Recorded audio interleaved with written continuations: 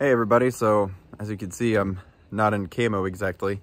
Uh, forgot to do a interview before and after the hunts last night, so my buddy went out and took me to a couple places that he had where he's got some coyote issues, and uh, we get out there and turns out we should have checked the weather a little better, so it was like gale force winds, but uh, we made a couple stands and we did get a coyote down, and uh, well, here's the video. Enjoy.